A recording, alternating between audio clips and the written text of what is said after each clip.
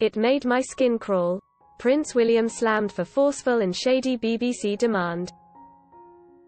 Prince William has been slammed for forcefully calling for Princess Diana's BBC interview with Martin Bashir to not be aired again.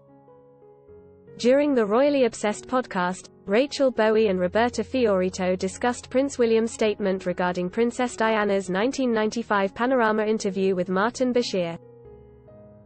Ms. Fiorito denounced the Duke of Cambridge's call to never air the interview again, calling it shady and stating it made her skin crawl.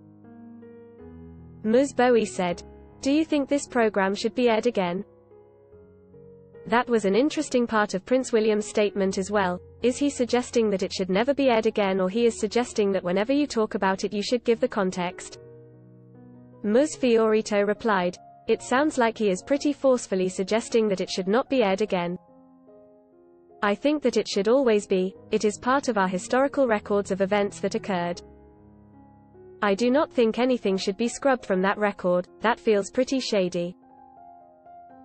She added, for the future king to suggest something like that, makes my skin crawl. I do not think any kind of removal from the artifacts of history should occur, that feels wrong. Earlier this month, the Duke of Cambridge released a statement criticizing Martin Bashir for his conduct in securing the interview with his mother. Prince William said, It is my view that the deceitful way the interview was obtained substantially influenced what my mother said. The interview was a major contribution to making my parents' relationship worse and has since hurt countless others. It brings indescribable sadness to know that the BBC's failures contributed significantly to her fear, paranoia and isolation that I remember from those final years with her. He continued, but what saddens me most, is that if the BBC had properly investigated the complaints and concerns first raised in 1995, my mother would have known that she had been deceived. She was failed not just by a rogue reporter, but by leaders at the BBC who looked the other way rather than asking the tough questions.